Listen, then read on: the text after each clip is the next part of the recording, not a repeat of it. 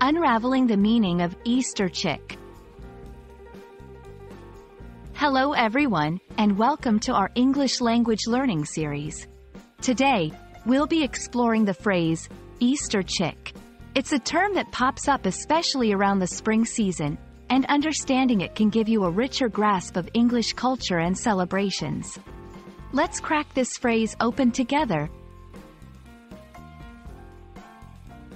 Before we dive into the term Easter chick, let's first understand what Easter is.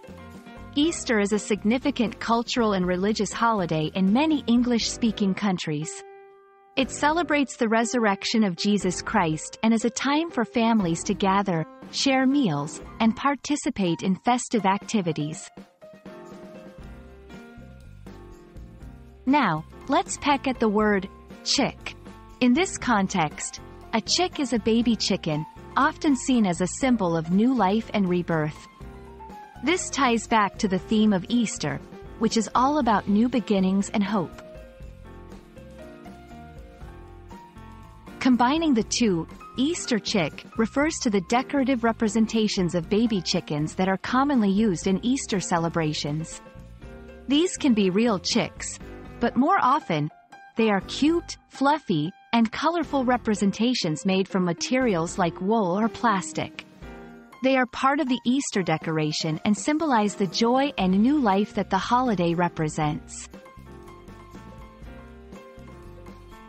You might hear someone say, we're painting Easter chicks this weekend, which likely means they're participating in a festive activity of decorating representations of chicks or you might see Easter chicks adorning greeting cards, as part of Easter egg hunts, and in various craft activities for children.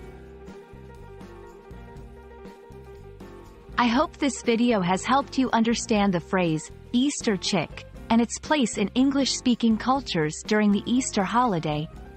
Remember, it's more than just a term. It's a symbol of celebration, family, and new beginnings. Thank you for joining us, and we look forward to bringing you more insightful language learning content.